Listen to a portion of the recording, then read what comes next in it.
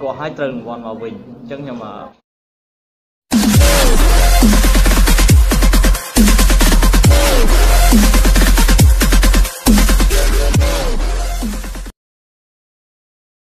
បាទមានសួរដល់បងប្អូនទាំងអស់ថ្ងៃនេះខ្ញុំមានវីដេអូខ្លីមួយដែលតាក់ទងនឹងការ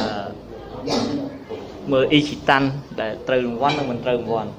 ដូច្នេះបងប្អូនថាដែលយើងចង់ចំណាយថវិកាតិចដើម្បី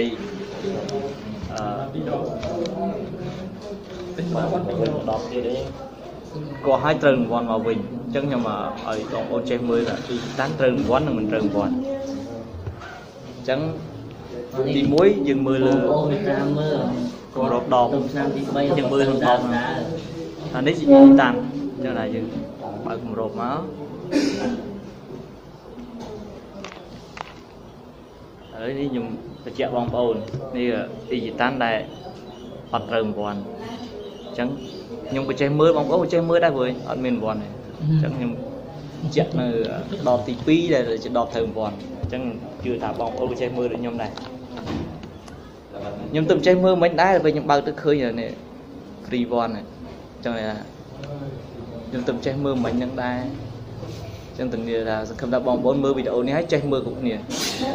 មិនតែនេះឃើញមក free one ថា100លានអីបាទហ្នឹងអញ្ចឹងវីដេអូនេះមានប៉ុណ្្នឹងបើសិនថ្ងៃក្រោយមានវីដេអូផ្សេងទៀតចាំចេញវីដេអូតែឲ្យបងប្អូនយល់ដឹងពី